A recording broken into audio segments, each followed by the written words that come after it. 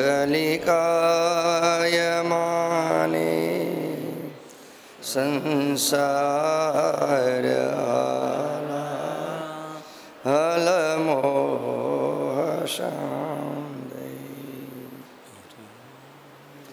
रे चित्तचिन्तय चिरं चरणो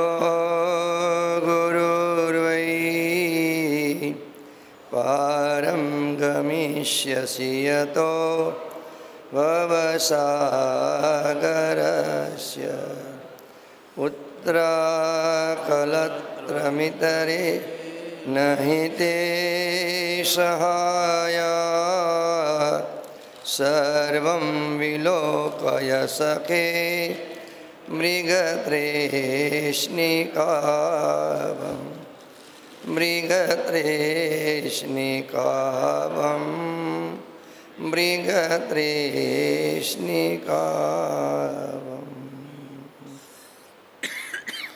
ॐ स्वस्ति न इन्द्रो वृदस्रवाः। स्वस्ति न मुखा विश्वभेदाः स्वस्ति न तारक्षो अरिष्टनेमि स्वस्ति नो बृहस्पतिर्ददातु। ॐ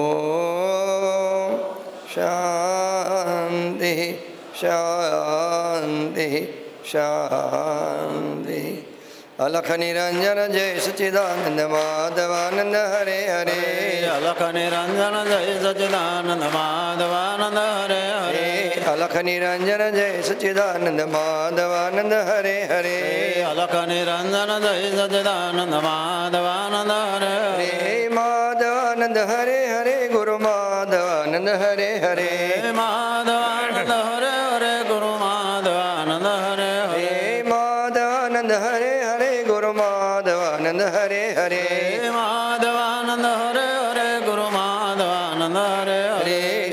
व्यापक जय सच्चिदानन्द माधवानन्द हरे हरे सब घट व्यापक जय सच्चिदानन्द माधवानन्द हरे हरे घट घट व्यापक जय सच्चिदानन्द माधवानन्द हरे हरे घट घट व्यापक जय सच्चिदानन्द माधवानन्द हरे हरे हरे प्रेमति बोलो जय सच्चिदानन्द माधवानन्द हरे हरे प्रेम दि बोलो जय सच्चिदानन्द माधवानन्द हरे हरे हरे ભાવથી બોલો જય સચિદાનંદ માધવાનંદ હરે હરે. ભાવથી બોલો જય સચિદાનંદ માધવાનંદ હરે હરે. અલખ નિરંજન જય સચિદાનંદ માધવાનંદ હરે હરે. અલખ નિરંજન જય સચિદાનંદ માધવાનંદ હરે હરે. અલખ નિરંજન જય સચિદાનંદ માધવાનંદ હરે હરે. અલખ નિરંજન જય સચિદાનંદ માધવાનંદ હરે હરે. સદગુરુ દેવની જય સ્વામી.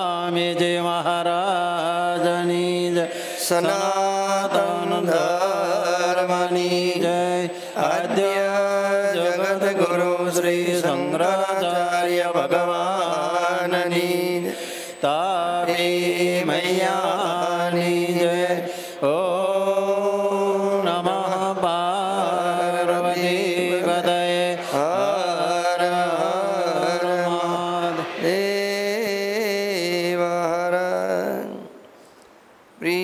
સજ્જનો પરબ્રહ્મ પરમાત્માની મહતી અનુકંપાથી આપણે શ્રીમદ ભગવદ્ ગીતાના માધ્યમથી ગીતાના સોળમા અધ્યાયને શ્રવણ કરી રહ્યા છીએ. જેમાં પરબ્રહ્મ પરમાત્માએ અર્જુનને નિમિત્ત બનાવી જગતના જીવોને મનુષ્ય જીવનમાંથી કઈ રીતે દેવત્વને પ્રાપ્ત થવું અને બંધનથી મુક્ત થવાને માટે દેવી સંપત્તિના ગુણો શ્રવણ કરાવી રહ્યા છે. કેમ કે દેવી સંપત્તિના ગુણો જીવનની અંદર દેવત્વને પ્રાપ્ત કરવાવાળા છે અને આસુરી વૃત્તિના ગુણો કહો કે દોષો કહો, અવગુણ કહો કારણ કે જે માનવને ઉચ્ચ ઉપર લઈ જાય, એનું નામ છે ગુણ. અને નીચે લઈ જાય, એનું નામ અવગુણ. તો દેવી સંપત્તિના ગુણો માનવને દેવત્વ પ્રાપ્ત કરવાવાળા છે. અને આસુરી વૃત્તિના અવગુણો, ભલે ગુણો કહેવામાં આવે, કેમ કે દેવી વૃત્તિના ગુણો અને આસુર વૃત્તિના ગુણો. તો એ જીવને અધોગતિની અંદર લઈ જવાવાળા છે. કેમ કે ભગવાન આગળ કહે છે, દેવી સંપત્તિ મોક્ષાય નિબદ્ધાયા સૂર્યમતા દેવી સંપત્તિના ગણો એ મુક્તિ મુક્તિ પ્રદાન કરવાવાળા છે, મુક્ત કરવાવાળા છે. અને આસુરી વૃત્તિ માનવને બંધનમાં નાખવાવાળા છે, નીચે લઈ જવાવાળા છે. નિબદ્ધાયા મતાહા. કે જે બંધન કરતા છે, એમાં દેવી સંપત્તિના ગુણને આપણે શ્રવણ કરી રહ્યા છીએ. તો કાલે આપણે શ્રવણ કર્યું કે જીવનની અંદર શાંતિ પ્રાપ્ત કરવી હોય. તો અહીંયા તો ભગવાન શાંતિ કહે છે, પહેલાં પરમ શાંતિ બતાવી ગયા છે. આ દેવી સંપત્તિના ગુણો છે. કેમ કે તમને કાલે પણ કહ્યું છે સ્થિતપ્રજ્ઞાના લક્ષણો બતાવતી વખતે પણ ભગવાને અર્જુનને શાંતિને માટે પણ કહ્યું છે અને આગળ ચોથા અધ્યાયની અંદર જ્ઞાનની મહિમા બતાવતી વખતે પણ ભગવાને કહ્યું, પરમ શાંતિ. એક અશાંતિ, એક શાંતિ અને એક પરમ શાંતિ. એમાં સારું કયું? જો, પરમ શાંતિ ક્યાં છે? અને કરવું હોય તો કરવું ગમતું? બોલો, કરવું ગમે છે?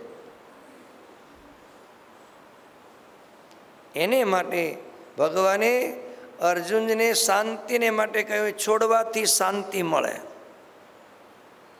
કેમ ગીતાના બીજા અધ્યાયની અંદર ભગવાને કહ્યું કે, વિહાય કામાન ય સર્વાન પુમાંશ્ચરતિ નિષ્પ્રિય નિર્મમો નિરહંકાર સશાંતિમ વધિગચ્છતિ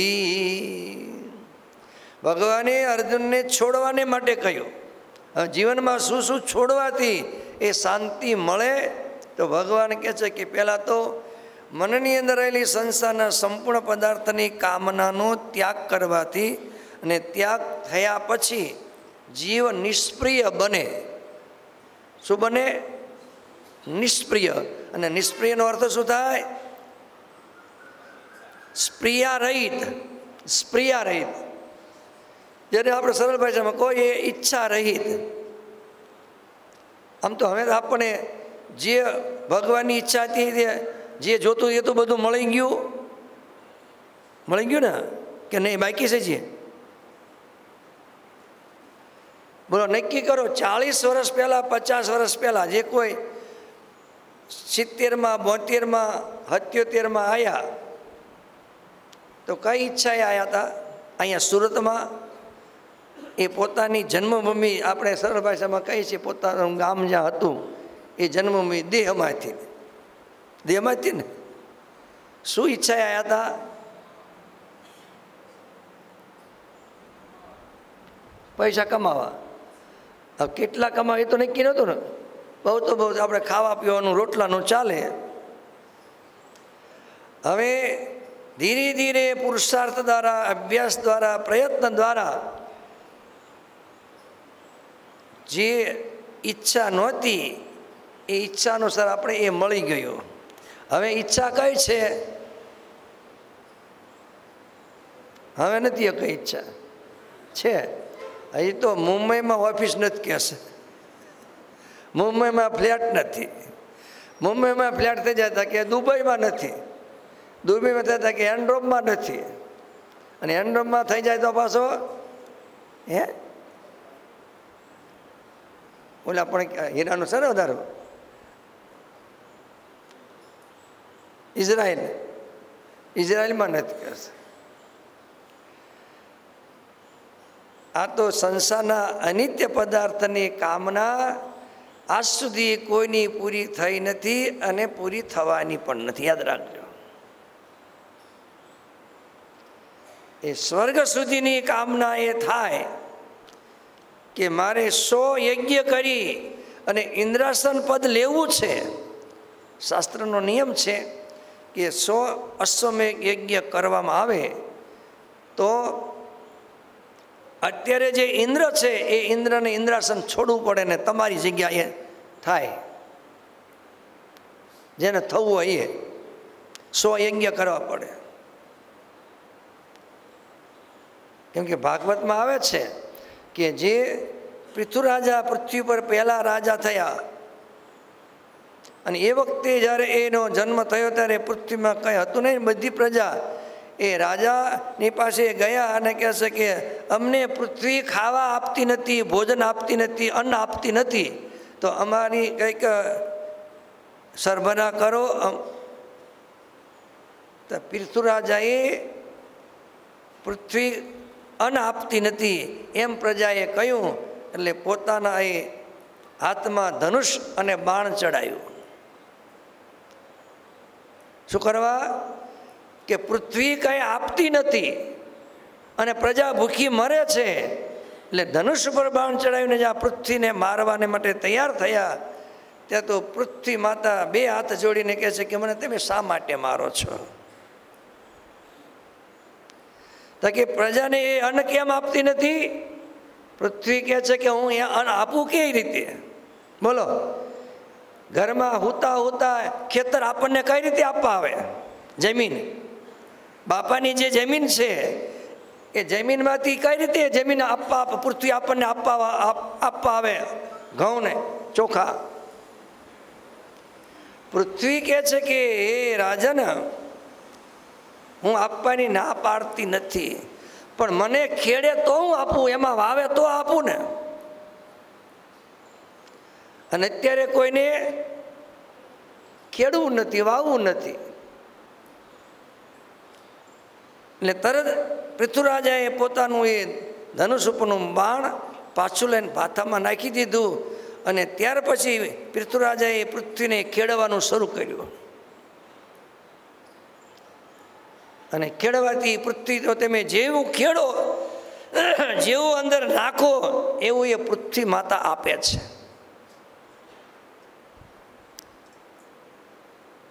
એના જેવું તો આજે જગતમાં કોઈ નથી.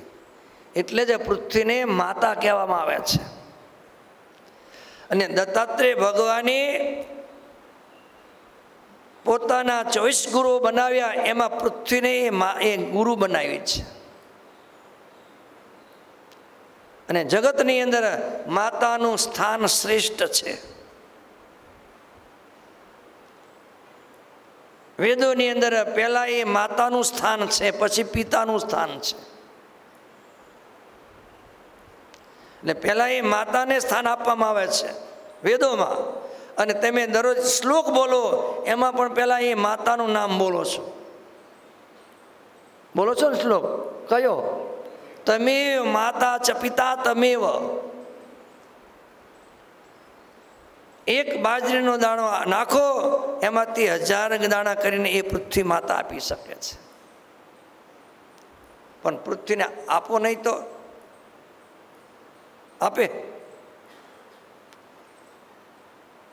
એક ગામની અંદર એક ભગત હતા, પાંચ વીઘાનું ખેતર છે ખેડા જિલ્લામાં. હવે હાંકે નહીં, વાવે નહીં, પાણી પાય નહીં તો એમાં થાય શું છેવટે કોઈના કહેવાથી કે એને ઘઉં વાવ્યા વાવ્યા પછી નહીં એને એ પાણી પાવાનું, નહીં એમાં જોવા જવાનું કે નહીં એમાં કંઈ ખાતર નાખવાનું કે નીંદવાનું, જે આવતું હોય. અને હોળી ઉપર જ્યારે ઘઉં વડાવવા માંડે, ત્યારે બધાને એ વાળતા જોવે ને ખળામાં આવતા ઘઉં જોવે એટલે કે તો, હાલો, આપણે ઘઉં વાયા છે, કે છે. લેવા લેવા જવું પડે ને? એટલે પહેલા દિવસે તો જોવા જાય. જોઈને આવીને પછી હાથમાં એક દાંતરડું, એક કપડું લઈને વાઢવા જાય. હવારમાં વાઢવા જાય ને સાંજે વાઢી અને માથા ઉપર લઈ અને બાંધીને આવતા રહે પાંચ વીઘામાંથી. હે? કેમ? વાવ્યા તો મેં તમને કીધું પહેલાં વાવ્યા આવ્યા પછી હાંકવાનું નહીં, નીંદવાનું નહીં, ખાતર નાખવાનું નહીં, પાણી પાવા નહીં, તો થાય કેવું? તો માથે ઉપાડીને ભારો બાંધીને આવતા રહ્યા. પૃથ્વી માતા તો એ આપે છે, એને એ તમે એ ખેડવું પડે. અને સાચો ખેડૂતો એને કહેવાય.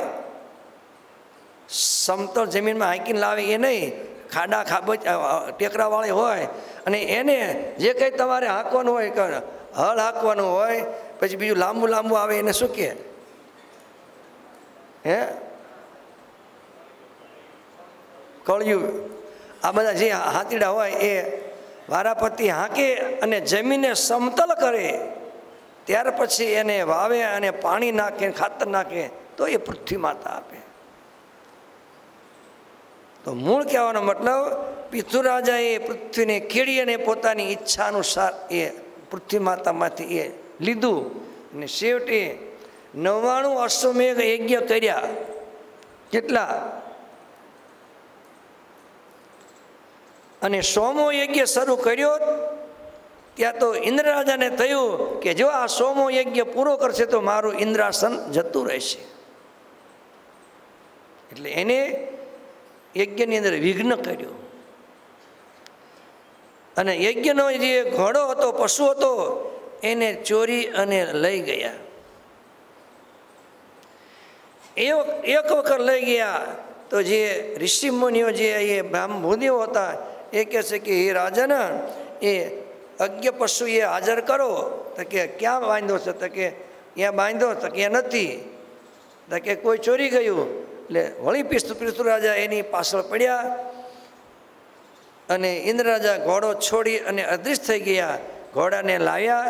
વળી પાછા ફરીને એ યજ્ઞ શરૂ કર્યો. વળી ફરીને ઇન્દ્રરાજા ચોરી ગયા.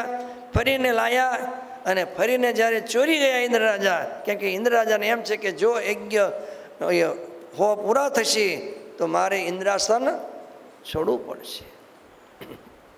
જેને લઈ પિતૃરાજા રીતબીજીનું ભૂદેવોને કહે છે કે, હે રાજન, હે દેવો, હે ભૂદેવો, એમ કરો. ઇન્દ્રને સ્વયં એ આહુ મંત્ર બોલીને આહુતિ આપો અને ઇન્દ્રનો સ્વાહ કરી નાખો.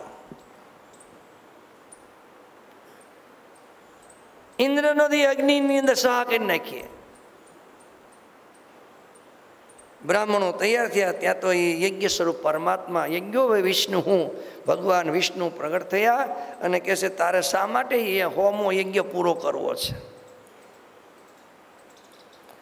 ભગવાને પૃથ્વીરાજાને સમજણ આપી.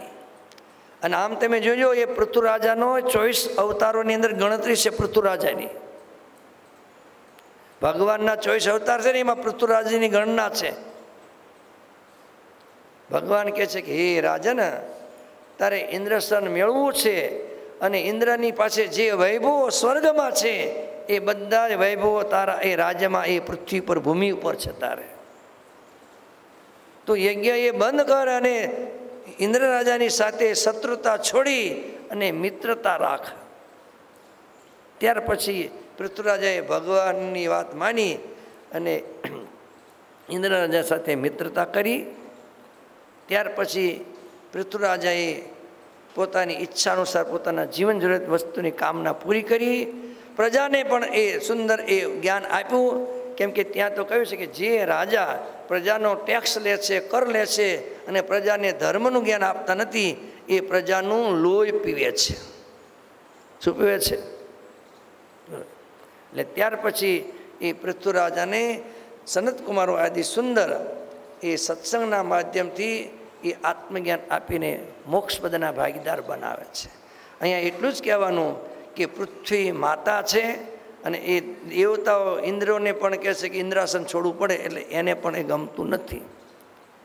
એટલે મૂળ કહેવાનો મતલબ શાંતિ જોતી હોય તો મનની અંદર રહેલી કામના એ શાંત થવી જોઈએ અને એ સંસારના પદાર્થની કામના તો કોઈની પૂરી થઈ નથી. કેમ કે પૃથ્વરાજાની પણ એ કામના હતી પણ પૂરી ન થઈ. અને તમે લંકાના રાજા રાવણનું નામ તો સાંભળ્યું છે, એની પણ કામના પૂરી થઈ અને આપણી પણ થવાની નથી. આપણી કામના હતી કે રહેવા મળે, એટલે સુરતમાં કે રોટલો મળે ને ઓટલો મળે બીજું શું મળે. પણ છતાં છતાં પણ હજી ઈચ્છા પૂરી થતી બાકી રહી છે ને? પણ યાદ રાખજો, શાસ્ત્રકારો કે છે જીવન જરૂરિયાત વસ્તુની ઈચ્છા કરવાથી ઈચ્છા પૂરી થાય છે. તમે મોટી મોટી ઈચ્છાઓ કરો, તો આજ સુધી કોઈની પૂરી થઈ નથી. એને માટે ભગવાન કહે છે, વિહાય કામાન અસરવાન પુમાંશ્ચરતિ નિષ્પ્રિય, નિર્મમો નિરઅહંકાર શાંતિ મધી ગચ્છતી. કે મનની અંદર રહેલી સંસારના અનિત્ય પદાર્થની કામનાનો ત્યાગ કરી અને જ્યારે જીવ નિષ્પ્રિય બને અને અહંતા મમતાનો ત્યાગ કરવાથી, અહંતા અને મમતા, અહંતા એટલે શરીરે હું છું અને એમ સમજીને જે અહંતા અહંકાર અભિમાન થાય અહમભાવ જેને કહેવાય છે, એ છૂટે અને મમતા પુત્ર, પત્ની, ધન વૈભવમાંથી જે મારાપણાની મમતા છે. એનું નામ છે મોહ. એ જ્યાં સુધી અહંતા અને મમતા છૂટે નહીં, ત્યાં સુધી ભગવાન કહેશે, શાંતિ મળતી નથી. સશાંતિમ બધી ગચ્છતી. અને ત્રણ વસ્તુ છૂટે તો એને શાંતિ મળે. પણ એ શાંતિ ક્યારે અશાંતિમાં ફેરવા જાય, એ કોઈને ખબર રહેતી નથી. એટલે એને માટે ભગવાને આ છોડવાને માટે કહ્યું ને ચોથા અધ્યાયની અંદર ભગવાને પરમ શાંતિને માટે ગ્રહણ કરવાને માટે કહ્યું છે. ચોથા અધ્યાયની અંદર ભગવાન કહે છે, શ્રદ્ધાવાન લભતે જ્ઞાનમ તત્પર સંયતેન્દ્રિય જ્ઞાનમ લબ્ધ્વા પરામ શાંતિ મચિરેણાધિગચ્છતિ. ભગવાન કે જ્ઞાનમ લબ્ધવા પરામ શાંતિ. જ્ઞાનને પ્રાપ્ત કરવાથી પરમ શાંતિના ભાગીદાર થઈ શકાય. જો શાંતિ, પરમ શાંતિ પ્રાપ્ત કરવી હોય તો. અને જેને જેને પરમ શાંતિ મળી, એને પોતાના સ્વરૂપને જાણી અને પરમ શાંતિના ભાગીદાર થઈ ગયા. તો એમાં ભગવાન કહે છે કે જ્ઞાન પ્રાપ્ત કરવાના માટે અંદરના સાધનો બતાવ્યા. પહેલાં તો શ્રદ્ધા, કેમ કે ભગવાન કે શ્રદ્ધાવાન લભતે જ્ઞાનમ. જેટલી હૃદયની અંદર શ્રદ્ધા વધારે, એટલું જ જ્ઞાન વધારે, જલ્દી. શ્રદ્ધા અમાન લભત લભતે જ્ઞાનમ. આગળ બીજું સાધન છે તત્પરતા અને ત્રીજું સાધન છે ઇન્દ્રિયનો સંયમ. તો ભગવાન કહે છે, જ્ઞાનમ લબ્ધવા પરામ શાંતિ મચિરેણાધિ ગચ્છતિ ચીર એટલે લાંબો કાળ, અચીર એટલે ઈસી મિનિટ. જેમ તમે ભોજન કરો અને ભૂખની નિવૃત્તિ થાય, એમ ભગવાન કહે છે કે જેવું જ્ઞાન પ્રાપ્ત થયું ઈસી મિનિટે પરમ શાંતિ. તો પરમ શાંતિ, તો ભગવાન અહીંયા દેવી સંપત્તિના ગુણોની અંદર પણ કહે છે કે દેવી સંપત્તિનો એ ગુણ છે કે જીવનની અંદર શાંતિ. હવે આગળ. ગુણ બતાવતા કે અપૈશુનમ. કેમ કે અહિંસા સત્યમાં ક્રોધ, ત્યાગ, શાંતિ, રપેશુનમ. અપેશુનમ. અપેશુનમ એટલે પૈશુનમ. એટલે સરળ ભાષામાં આપણે કોઈને એમ કે ચાડી ખાવી. શું ખાવી?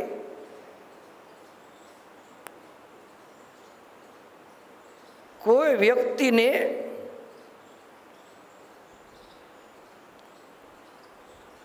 પોતાના મુખથી બીજા કોઈ વ્યક્તિની, બીજા વ્યક્તિને કાનની અંદર વાત કહેવી બીજાના અવગુણ એ બીજાને એ કાનમાં કહેવા એનું નામ છે પિસ્તુનતા એટલે ચાડી. અથવા તો એને શું કહેવાય? ચુગલી. શું કહેવાય?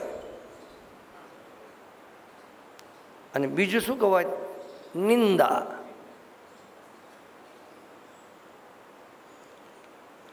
તો અહીંયા કેમ કે ભગવાન ભાષ્યકારે એ ભગવદ્ ગીતાના એ સોળમા અધ્યાયની અંદર અપેશુનમનો એ અર્થ કરતાં કહ્યું છે કે પરરંધ્ર પ્રકટીકરણમ પૈશુનમ. પરરંધ્ર પ્રકટીકરણમ. પરરંધ્ર એટલે બીજાના કાનમાં. પ્રગટીકરણમ પ્રગટ કરવું એટલે કહેવું. એનું નામ છે પૈશુનમ. તસ્ય અભાવ અપૈશુનમ. એનો જે અભાવ, એનું નામ છે અપૈસુનાવ. એટલે ચુગલી ન કરવી, ચાડી ન ખાવી, એનો અર્થ ભગવાન કહે છે, આ દેવી સંપત્તિનો ગુણ છે. કેમ કે આ મોટામાં મોટો શું છે? ગુણ છે અપેશુનમ ચુગલી કરવી, એ તો એ અવગુણ છે. અને એનું તો એ નામ સરળ ભાષામાં કહેવાય છે કે નિંદા કરવી એ શું કહેવાય? જેવું છે એવું હાચે હાચું કહો તો એ નિંદા નથી યાદ રાખજો. પણ હૃદયની અંદર જે ઈર્ષા ભાવ હોય અને એ ઈર્ષાને લઈને બીજાના ગુણને અવગુણની અંદર ફેરવવા. સાચું હોય તો એ તો બરાબર છે સાચું ન હોય છતાં એ સત્ય ન હોતા પણ અસત્ય કહેવું એનું નામ છે અપેશનમ નિંદા. અને નિંદા આપણે સરળ ભાષામાં કહીએ છીએ કે નિંદા જેવું કોઈ પાપ નથી. સાચું ખોટું સાચું ખોટું એ કીધા જ કરવું કીધા જ કરવું અહીંયા તો એ લગભગ કોઈને છોડવામાં આવતા નથી. શાસ્ત્રકારો કહે છે, તમે ગમે તેની એ ચુગલી કરો છો, તો એક પક્ષ નહીં, બે પક્ષનું સાંભળીને કરો. કેમ કે નીતિ સપ્તકની અંદર ભરતુરાજે પણ કહ્યું છે વિષ્ણુતા પાત પાતકઈ. વિષ્ણુતા જેવું એ મોટામાં મોટું પાપ નથી.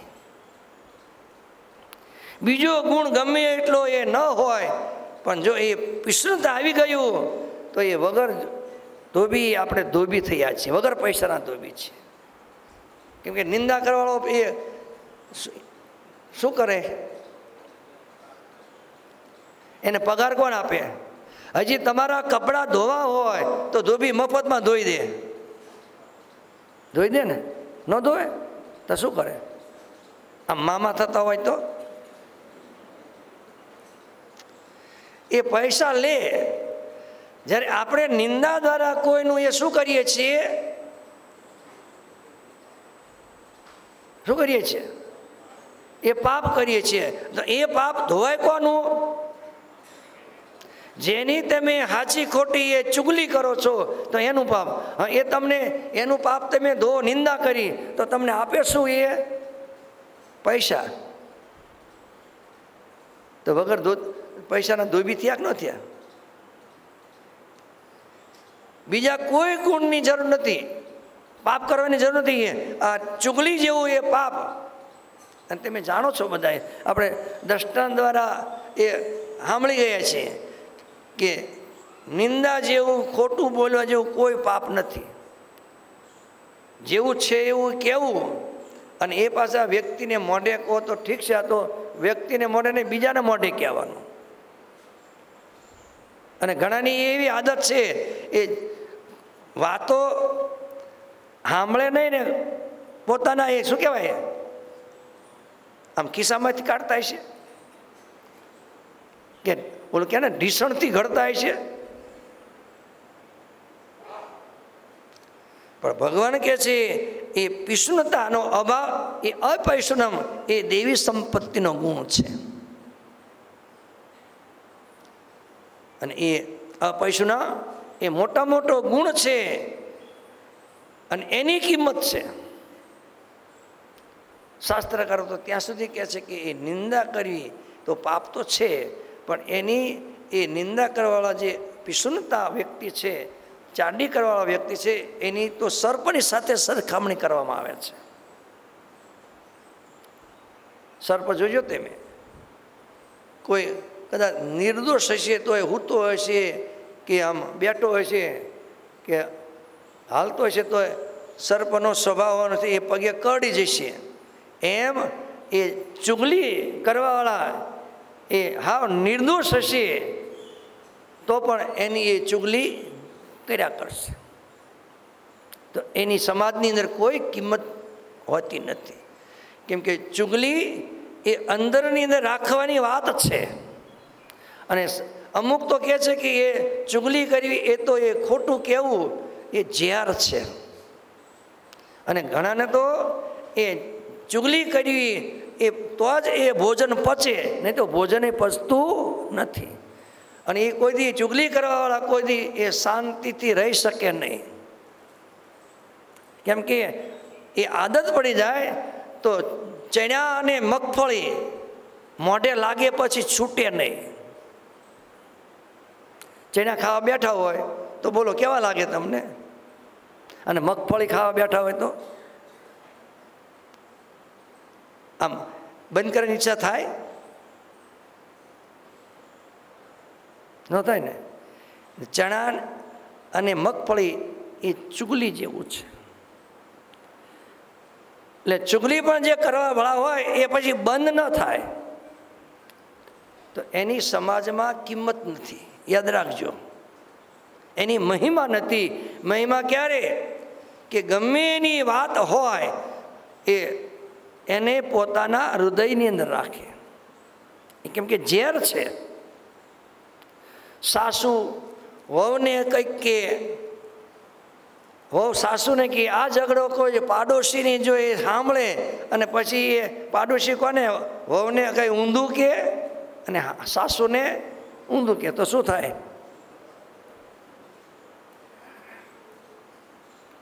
તો એની એ કિંમત નથી કેમ કે એક વખત સમ્રાટ ચંદ્રગુપ્ત રાજાને કોઈ બીજા રાજાએ એક સરખી બે મૂર્તિઓ એ ભેટમાં આપી મોકલી ભેટમાં અને એ રાજા ચંદ્રગુપ્તને કહ્યું કે આમાં બે મૂર્તિ છે, એમાં કઈ કિંમતી છે અને કઈ અકિંમતી છે. આમાં બે મૂર્તિમાં વધારે કિંમત કોની? ચંદ્રગુપ્તએ સભા ભરી અને કહ્યું કે આ બે મૂર્તિઓ છે, આપણને ભેટમાં આવી છે, પણ એમાં એક મૂર્તિ અને બે મૂર્તિ, એમાં કિંમતી કઈ મૂર્તિ છે એ કોઈ જાણતા હોય તો કહો. બધાની સામે બે મૂર્તિ મૂકી છે. બંનેનું રૂપ હરખું છે, રંગ હરખો છે, ઊંચા હરકી છે, કલરે હરખો છે. આમ બદલા જાય એવી, એમાં કોઈમાં એ કિંમત ઓછી છે એમ કોઈ કહી શકે નહીં. પણ એમાં છે ખરી. તો કેમ ખબર પડે? બોલો. કેમ ખબર પડે? હે? દોરો ના ખાય. તો બધાએ મૂંઝાઈ ગયા. તો એનો એક મંત્રી હતો સટ્ટાસર સટ્ટાર એને એ ચુગલી કરવાની બહુ આદત હતી, નિંદા કરવાની. તો ચંદ્રગુપ્ત ગુપ્તને ખબર પડી કે આ ચુગલીખોર છે, મંત્રી હતો. છતાં પણ એને એને દંડ દેવાને માટે અંધારા કૂવાની અંદર એ પૂરી દીધો હતો. પણ મૂર્તિની કિંમતની કોઈ સભાસદે ઊભા તેને કહ્યું નહીં, કેમ કે બુદ્ધિશાળી હોય એ કહી શકે આની કિંમત કેટલી. તો છેવટે રાજાએ એ સપ્ટારને બોલાયો. જેને એ અંધારા કૂવામાં એ રાખ્યો હતો જેલમાં, દંડ. સટ્ટારને બોલાવવામાં આવ્યા. સટ્ટારને કહે છે કે એ સટ્ટાર આ બે મૂર્તિમાં એ કઈ મૂર્તિ કિંમતી છે? સટ્ટાર તો એ પહેલાં તો મંત્રી રહી ચૂક્યો હતો, એટલે બુદ્ધિશાળી હતો. એટલે એને એવી હળી જે કડક અને વળે પણ ભાંગે નહીં. એવી સળી લાયો, મંગાવી, લાંબી અને એક મૂર્તિના કાનમાં એ ભરવી. ધીરે ધીરે ભરતા ભરતા હામે કાનમાં એ બહાર નીકળી ગઈ. ત્યાર પછી એ હળીને કાઢી અને બીજી મૂર્તિના કાનમાં નાખી. અને નાખતો ગયો નાખતો ગયો, એના એ પેટમાં અંદર ઉતરી ગઈ. સટ્ટારે જાહેર કર્યું કે આ મૂર્તિ કિંમતી છે અને આ મૂર્તિની કોઈ કિંમત નથી. સમજાણું? તો એકના કાનમાંથી બીજા કાનમાં નીકળી ગઈ. એની કિંમત નથી. અને એકના કાનમાં નાખવાથી થેઠ બહાર નીકળીને ને એ પેટમાં ઉદરમાં ઉતરી ગઈ, એની કિંમત છે. તો એના પરથી સમજવાનું કે જે પૈસુનમ છે, તો તમારી અંદર જે કંઈ વાત છે એ તમે ઉદરમાં રાખો, તો એની કિંમત મહિમા વધે છે. અને એક કાનથી બાર કાનમાં બીજા કાનમાં નીકળી ગઈ. એટલે એક કાનને આપણે સાંભળ્યું ને બીજા કાનને આપણે સમજાવીએ. કેવી તો? એની ચુગલીખોરની સંસારમાં કોઈ કિંમત નથી. અને એ પણ પોતે પોતાની કિંમતને લઈ ચુગલીખોરના સ્વભાવને લઈને એ બીજાને પણ કહેશે કે એ આદત પાડે છે. એને માટે અહીંયા દેવી સંપત્તિનો ગુણ છે કે અપૈશુનમ કે ચુગલી અપૈશુન એટલે પીશુનતા રહિત હોય, એ જ કહે છે કે દેવી સંપત્તિના ગુણને પ્રાપ્ત કરી શકે છે. આગળ, ભગવાન હવે કહે છે કે, દયા ભૂતિષુ લોલુપ્તમ માર્દમ હિ રચાપલમ તેજ ક્ષમા શોચ મદ્રોહો નાતિ માન્યતા ભવંતી સંપદમ દેવી એવી જાતસ્ય ભારત. હવે બે શ્લોક આપણે એ દેવી સંપત્તિના શ્રવણ કર્યા. હવે આગળ બીજા બીજા શ્લોકની એ બીજી પંક્તિ છે, દયા ભૂતિષુ લોલુપ્તમ માર્દવમ હિ રચાપલમ. દેવી સંપત્તિનો એ ગુણ છે, દયા ભૂતિષુ. સર્વભૂતોની ઉપર દયા કરવી એ દેવી સંપત્તિનો ગુણ છે. તો દયાનો અર્થ શું થાય? જે વ્યક્તિની પાસે વસ્તુ ન હોય અને બીજા વ્યક્તિને વસ્તુ આપવાને માટે હૃદયની અંદર જે ભાવ ઉત્પન્ન થાય, એનું નામ છે દયા.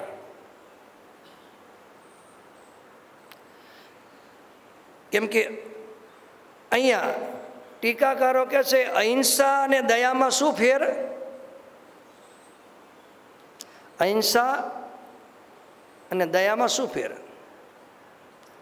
તો અહિંસા કોઈ જીવને કષ્ટ ન થાય, એનું નામ છે અહિંસા. કોઈ પણ જીવને કષ્ટ ન આપવું, એનું નામ છે એ અહિંસા. જે આપણે કહ્યું, અહિંસા પરમો ધર્મ.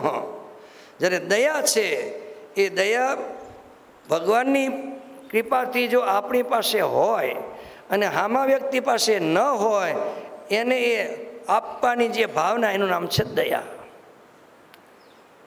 કેમ કે ભગવાન તો બધાની ઉપર એ દયા કરવાવાળા છે. પણ આપણે એ દયા, જો બીજાની ઉપર આપણે, આપણી પાસે ભગવાને આપ્યું હોય, તો બીજાને આપવું એ દયા ગુણ છે. કેમ કે દયા નહીં તો ધર્મ જ સાનો અને આમ તો કહે છે ને, દયા ધર્મ કા મૂલ હૈ, પાપ મૂલ અભિમાન. તુલસી દયા ન છોડીએ. જબલ ઘટમે પ્રાણ. ધર્મને માર્ગે ચાલવાને માટે પણ દયા એ ગુણ છે. દયા નહીં તે ધર્મ જ સાનો. ભલે આપણે ધર્મનું પાલન કરતા હોય, પૂજાપાઠ કરતા હોય, પણ મનની અંદર જ્યાં સુધી બીજા જીવને આપવાની એ ભાવના ન થાય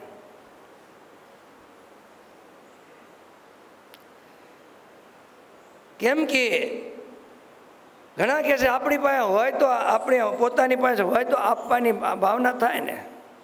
પણ પોતાની પાસે હોય, પણ જો આપવાની ભાવના ન થાય તો?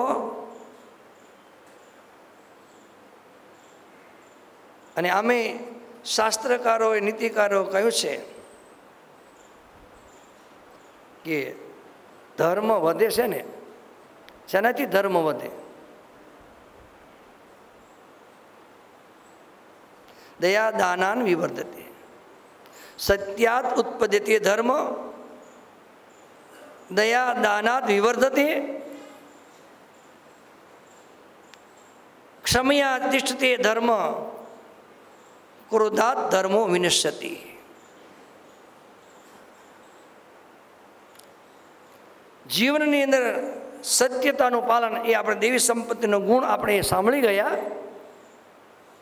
એ સત્યતા જીવનની અંદર પ્રાપ્ત કરવાથી, સત્ય બોલવાથી, સત્ય વ્યવહાર કરવાથી એ ધર્મ ઉત્પન્ન થાય છે. સત્યાત ઉત્પદ્યતિ ધર્મ દયા દાનાન દાનાત વિવર્ધતે. દયા કરવાથી, દાન કરવાથી એ ધર્મ વધે. અને ક્ષમયા તિષ્ઠતે ધર્મ. અને જીવનની અંદર ક્ષમા ગુણ હોય એ ક્ષમા દ્વારા એ ધર્મની સ્થિરતા થઈ શકે. અને ક્રોધા ધર્મો વિનશ્યતિ. અને ક્રોધથી ધર્મનો નાશ થાય. શું થાય? નાશ થાય. તો દયા દાનાત વિવર્તતે. દયાથી અને દાનથી ધર્મ વધે. તો હંમેશા એ દેવાની ભાવના કરવાથી હંમેશા ધર્મ વધતો જાય છે ને વધતો જાય છે. ને ભગવાને આપણને આપ્યું હોય તો હંમેશા એ દયા કરી અને બીજા જીવોને દેવાની ભાવના કરવી. કેમ કે બીજા જીવને કહેશે કે આપવું એ દયા છે, પણ દયા બધાની અંદર તો હોય જ. તમે કહો દયા કરો, ઘણા કહો દયા કરો દયા કરો. શેની દયા કરો? કોઈ પણ જીવને કહે છે કે જેમ બિલાડી છે, એની અંદર દયા હશે? નહીં હોય. હોય? બિલાડીમાં દયા હશે? હોય. કહેવાય છે કે બિલાડી એ ઉંદરને પકડે. અને એના દાંત એ બધું એ દાંત દ્વારા એ બધું ઉંદરના શરીરમાંથી લોહી પી જાય. તો એને ઉંદર પર દયા નથી ને? તો દયા નહીં હોય એની પાસે? બધાની અંદર દયા છે. એવો કોઈ વ્યક્તિ ન હોય કે દયા ન હોય. પણ બિલાડી જ્યારે ઉંદરને પકડે ત્યારે એ દયા કરતી નથી. એના દાંત વડે એ બધું એ પીસી જાય. છોડે નહીં. પણ જ્યારે એના બચ્ચા જ્યારે પકડે પકડે એના બચ્ચા? ક્યારે?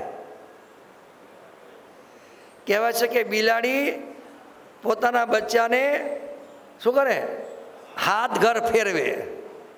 અને હાથ ઘર ફેરવે ત્યારે શું થાય? એના બચ્ચા આંખો ઉઘાડે એમ કહે છે બધા વડીલો તો હાથ ઘર ફેરવે એટલે એક ઘરથી બીજા ઘરે લઈ જાય. તો બોલો, એ હાલતી હાલતી જતી રહેશે કંઈક કૂદવું પડતું હશે અને એને બચ્ચાને એ બિલાડી એના બચ્ચાને એને પકડ્યું છે. શું પકડ્યું છે? ગળું. તો એને તો એ દાંત તો વાગતા હશે. પણ એ જરી બિલાડી એના બચ્ચાને દાંત વાગવા દેતી નથી, યાદ રાખજો. અને જો દાંત વાગે તો હાથ ઘર ફેરો તો બચ્ચું મરી હોત જાય. પહેલા દિવસે ફેરવે દાંત વાગ્યો, બીજા દિવસે દાંત પાસે વાગી, એ જ જગ્યાએ વાગ્યા ને. ત્રીજા જગ્યાએ મટે ક્યારે? એને માટે કહેવાય છે કે દયા એ બિલાડીમાં પણ છે. વ્યક્તિ માત્રની અંદર, પ્રાણી માત્રની અંદર એ દયા તો છે. તમે જોજો, આ હિંસક પ્રાણીઓ એ વાઘ ને સિંહ બધા હોય ને એ, એના બચ્ચાને પણ એ પકડતા હોય. જ્યારે એને મારણ કરવાનું હોય ત્યારે પકડે, ત્યારે કે છે મૂકે નહીં. જો એ ચિત્તો હોય, સિંહ હોય કે પછી એ શીણ હોય, દીપડો હોય, આ બધા જ એ હિંસક પ્રાણીઓ એ જીવને પોતાના આહારને માટે જ્યારે પકડે છે, ત્યારે એ સીધી જ એ ગળું પકડે છે. શું પકડે? ગળું. જોજો તમે ક્યારેક. નહીં તો આમ તો જોવા નહીં મળતું હોય, પણ ટીવીમાં ડિસ્કવરી જુઓ ને એમાં બધું મળે. ડિસ્કવરીમાં દુનિયાનું બધું એ આવે.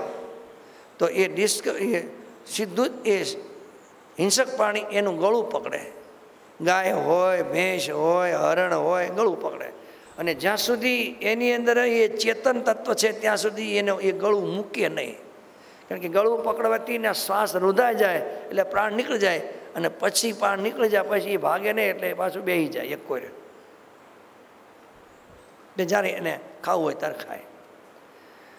પણ એના બચ્ચાને જ્યારે એ પકડે, ત્યારે એના એ દાંત કહેશે કે એટલી રીતે એને પકડે તો એને વાગે નહીં, તો એમાં દયા છે.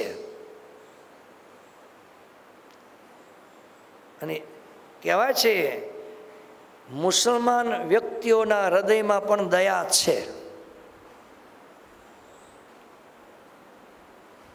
કેમ કે એના બાળકને જ્યારે કોઈ ગુમડું થયું હોય અને ડાક્ટર પાસે લઈ જાય અને જ્યારે એને ચેકો મૂકવાનો થાય, તો પણ એ વ્યક્તિ પણ એના બચ્ચાની એ જે છે, કાપવાની ક્રિયા એને એ જોઈ શકતો નથી. દ્રષ્ટાંત પણ છે, એક વખત એક મુસલમાન રાજા કે છે, એનો એ શું કહેવાય, પ્રધાન. એ પ્રધાન એક વખત મૃગ્યા ખેલવાની માટે ગયો. ઘોડા પર સવાર થઈ અને જંગલમાં ગયો તો એક હિરણ એને એ બચ્ચાવાળું જોયું. એની પાછળ ઘોડો કર્યો. પણ જે બચ્ચું એ જન્મ્યું હતું એટલે જે એની માતા હિરણ હતી, હિરણ એ કહેશે કે હાથમાં ન આવ્યું, પણ એ બચ્ચાને એને પકડી લીધો. પકડી લીધું એટલે તરત એને એમ થયું કે ઓહો હો હવે શું? તો મોટું બચ્ચું, મોટું તો હાથમાં ન હોય, પણ આ બચ્ચાને હું લઈ જાઉં ઘરે. ધીરે ધીરે એને બાંધી અને એને ઘર તરફ જવા લાગ્યો તો એની માં, જે બચ્ચાની માં છે, એની સામે, બચ્ચાની સામે જોતી રહી. જોતી રહી એટલે ઓલો જે રાજાનો એ પ્રધાન હતો એકલો, એને વિચાર કર્યો કે એની માતા પાછળ જોઈ રહી છે અને હું બચ્ચાને લઈ જાઉં છું. જેમ જેમ એ રાજ તરફ આવતો ગયો, એની માતા બચ્ચાની પાછળ પાછળ દૂર દૂર, એમ નજીકમાં નહીં, દૂર દૂર એ રહેતી રહી એ પાછળ પાછળ આવતી રહી. છેવટે એની આંખમાંથી એ, એની માતાની આંખમાંથી એ આંસુ એ પડતા જોયા. એટલે જે મુસ્લિમ એ પ્રધાન હતો, એના પણ હૃદયની અંદર એ દયા ઉત્પન્ન થઈ કે કેટલી આ એની બચ્ચાની પાછળ એ રુદન કરે છે. બચ્ચાનો કેટલો મોહ છે. તો જેને લઈ એટલે એને એમ થયું એનું પરિવર્તન ઉત્પન્ન થયું અને પરિવર્તન થયું હૃદયની અંદર કે આને તો હું જઈને એ મારી નાખવાનો. પણ એની માતાને કેટલું દુઃખ થાય, એને લઈને એ બચ્ચાને એને એ પાદરમાં આવતા એને છોડી મૂક્યું. હું છોડી મૂક્યું તો એને એ બચ્ચું છોડતું, જેવું છોડ્યું એવું દોડતું દોડતું એની માતા પાસે જ ગયું અને માતા સામે પાસે ગયું તો માતા એને ચાટવા લાગી ચાટવા લાગી એટલે આગળ જંગલમાં જવા લાગ્યા અને થોડી વાર થોડી વાર એ માતા એ ઓલાએ જે માલિકે છોડ્યું ને એની સામે એ જોતી રહી. બે ત્રણ પગલાં હાલી અને પાછું વાળી જોવે. બે ત્રણ પગલાં હાલે ને પાછું વાળી જોવે. અને છેવટે કહેવાય છે, એ તો બાદશાહ સ્પર્ધા હતો એ આવતો રહ્યો એ રાજમાં અને એ દયાને ખાતર. એ તમે મૃગલી કહો કે જે એને દયા કરી, એનાથી જે પરમાત્મા સંતોષ રાજી થયા તો થોડા સમયની અંદર કહેશે કે એ પરમાત્માના કૃપાથી, આ પરમાત્માના આશીર્વાદથી એ થોડા સમયમાં રાજા એ મરને શરણ થયો અને જે પ્રધાન હતો મુસ્લિમ, એને એ રાજા બનાવી દીધો. કહેવાય છે કે એ દયા કરવાથી, એના આશીર્વાદથી એ પ્રધાન, એ રાજા થઈ ગયો. અને વ્યવહારમાં તો કહી છે ને, દયા નહીં તો ધર્મ જ સાનો. જ્યાં સુધી જીવનની અંદર દયા નથી, ત્યાં સુધી એ ધર્મનું પાલન થઈ શકતું નથી. એને માટે જીવનની અંદર એ દયા દયા એટલે અહિંસા અને દયામાં ફેર છે. ગમે તે પોતાની પાસે વસ્તુ હોય, એને દયા કરીને બીજાને આપવી. ભગવાને આપણને આપ્યું છે તો બીજાને આપવાને માટે હંમેશા, કેમ કે શાસ્ત્રનો નિયમ છે, જેટલું આપણે આપીશું એટલું જ એ વધારે ને વધારે એ આવતું જાય છે. તમને પહેલાં કહ્યું, પૃથ્વીમાં પાંચ દાણા નાખો, એ વધારે કરીને આપે છે. તો નક્કી કરો, જે પૃથ્વીના પણ એ માલિક કોણ છે? પૃથ્વીના માલિક કોણ? પરમાત્મા. કેમ કે પૃથ્વી પણ છે કોણ? હે? પૃથ્વી છે કોણ? હે? માતા તો છે, આમ છે કોણ? વિષ્ણુ ભગવાનના એ પત્ની છે. કોણ છે?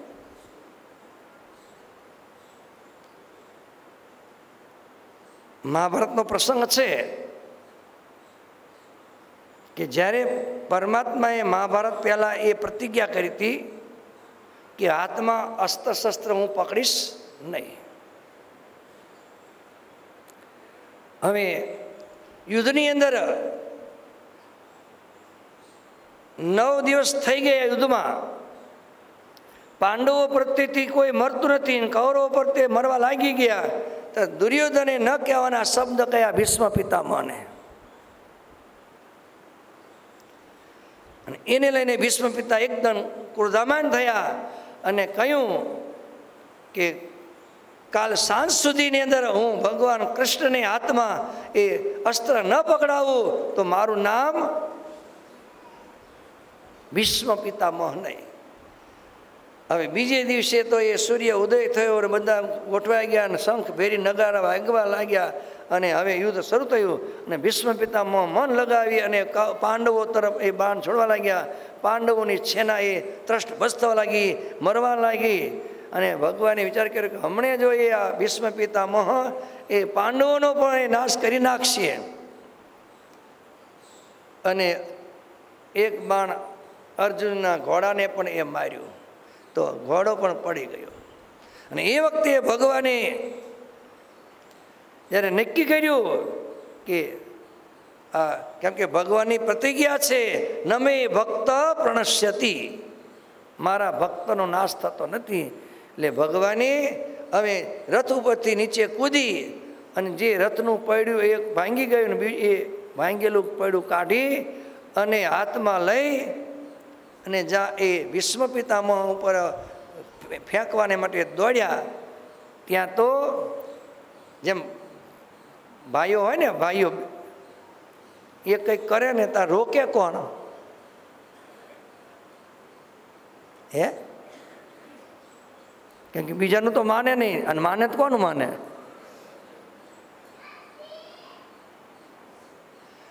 ઘણા તો એ પતિઓનું માનતા નથી. તો ભગવાનની પ્રતિજ્ઞા હતી. એ ખબર હતી બધાને. તો પોતાના પતિની પ્રતિજ્ઞા એ તૂટે છે.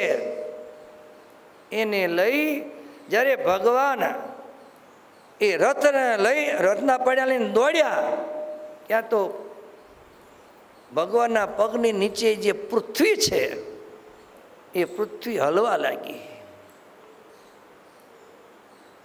અંતર્યામી પરમાત્મા એ જાણી ગયા કે જે હું કાર્ય કરવા જાઉં છું અને એમાં જો વિઘ્ન કરે, તમે કોઈ કાર્ય કરવા જતા હોય અને એમાં પત્ની ના પાડે તો શું થાય? હા, શું કહેજો? તેમ કરો કે ન કરો? કે માની જાઓ? કોઈ નહીં બોલે. તમે પતિ કરવા જતા કામ કરવા જતા ને પત્ની ના પાડે તો તમે કરો બંધ થઈ જાઓ. હા શું કહેજો હાલ કંઈ બોલતા નહીં, આપણે બહાર નથી પાડવું. તો વિઘ્ન થાય એમ પૃથ્વી એ ઊંચી નીચી થવા લાગી એટલે પરમાત્મા એ સમજી ગયા કે હમણે મને એ- રોકશે. એટલે ભાગવતકાર સુખદેવ મુનિ કે છે તથા ગતો ગતોત્તરીય. ધૃતચરણના ગતોત્તરીય ભગવાને પોતાના ખંભા પર એ દુર્પટ્ટો હતો શું કહેવાય અત્યારે બેનો ઓઢણી કહે છે ભાઈઓ શું કહો ખેસ ખેસ તો ન કહેવાય ખેસ તો પડવા જાય તારે નાખે તો એ રૂમાલ કોક જે આપણે ઘણા ખેત ખેતીમાં કામ કરતા હોય એના ખંભે હોય જ તે તે એ ભગવાને પોતાનું પિતાંબર જે હતું, એ પૃથ્વી પર ફેંકી દીધું. ફેંકી દીધું એટલે હવે ધરતી માતા, પૃથ્વી માતા સમજી ગયા. અત્યારે એ પતિનો જે ક્રોધ ક્રોધ છે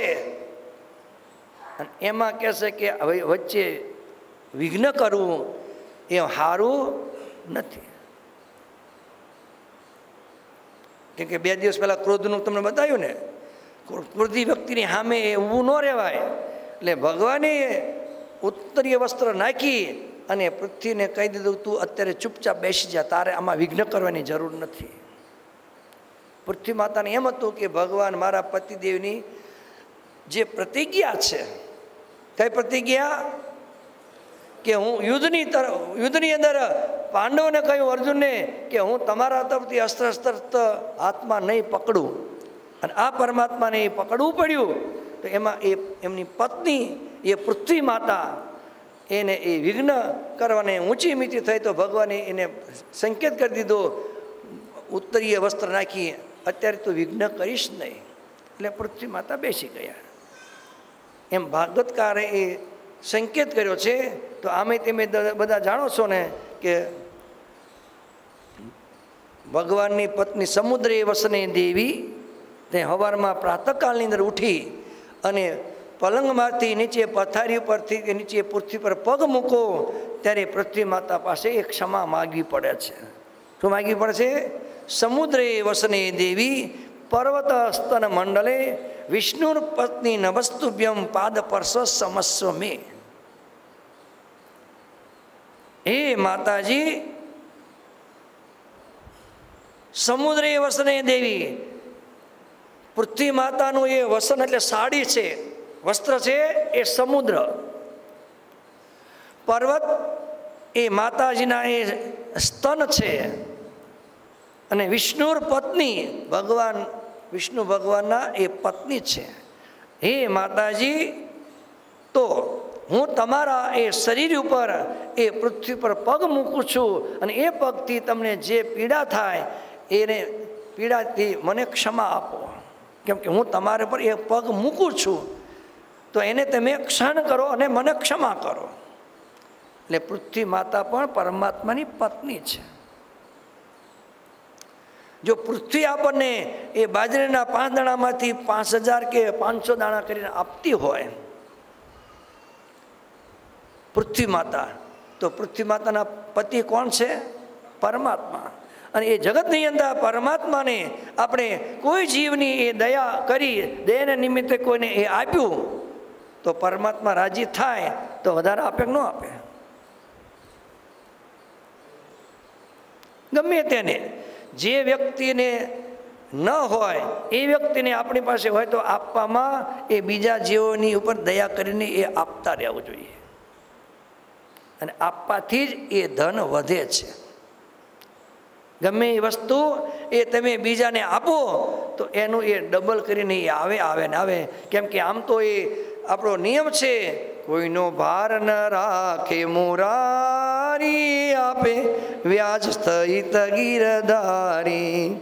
હરીને ભજતા હજી કોઈની લાજ જતા નથી જાણી રે, જેની સુરતા સાંભળી યાની સાત વધે વેદવાણી રે.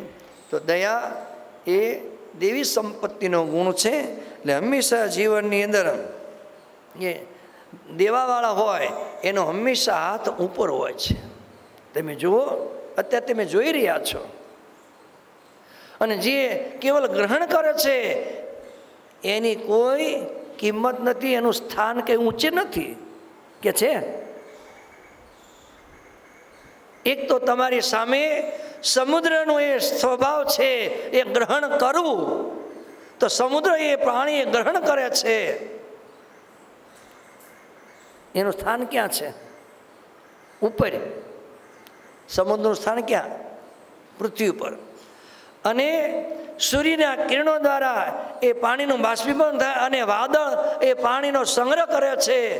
અને એ વાદળ એ પાણી દ્વારા અત્યારે તમને એ પાણી આપે છે, તો એનું સ્થાન ક્યાં? સમુદ્ર ગ્રહણ કરે છે, સંગ્રહ કરે છે, એનું સ્થાન ક્યાં છે? નીચે. અને વાદળ જે દીધા કરે છે, એનું સ્થાન ક્યાં છે? ઉપર. અને આમે તમે જાણો છો, હંમેશા દેવાવાળાનો હાથ ઉપર હોય. અને લેવાવાળાનો હાથ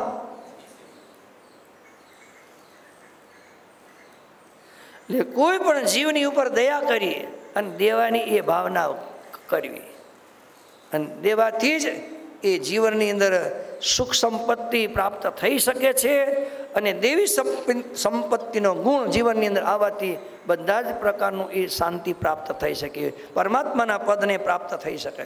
સિમિર સિમિર જલ ભલ જલ હિ તલાવા. કેમ કે તમને ઘણી વખત કહ્યું, કાંકરે કાંકરે પાળ બંધાય, ટીપે ટીપે સરોવર ભરાય. એટલે તુલસીદાસજી કહ્યું, સિમર, સિમ સીમિત સીમિત જલ જલ જલરી ભરાઈ તળાવા ધીરે ધીરે ધીરે ધીરે સમુદ્ર એ તળાવમાં પાણી ભરાય છે. જે સદગુણ સજ્જન પહે આવા. અને ત્યારે ધીરે ધીરે એ સજ્જન પુરુષોની અંદર એ સંસ્કાર, એ સદગુણો પ્રાપ્ત થાય છે. ત્યારે જીવન એ ઉત્તમ બને છે. એટલે હંમેશા જીવનની અંદર દેવી સંપત્તિના ગુણોને પ્રાપ્ત કરવા માટે, ધારણ કરવા માટે અપૈશુનતા અને દયા એ કરતી રહેવી બધા ભૂતોની ઉપર અને આગળ અલોલુપ્તમ. એ ભગવાનની કૃપા હશે તો શ્રવણ કરીશું. ધીરે ધીરે પરમાત્મા સર્વને સુખ સંપત્તિવાન બનાવે એવી પ્રાર્થના કરી કે સર્વત્ર સુખીના સંતો, સર્વે સંતો નિરામયા. સર્વે ભદ્રાણી પશ્યંતો, મા કશ્ચિ દુઃખભાગ ભવેત. ॐ शान्तिः शान्तिः शान्ति। आनन्दमा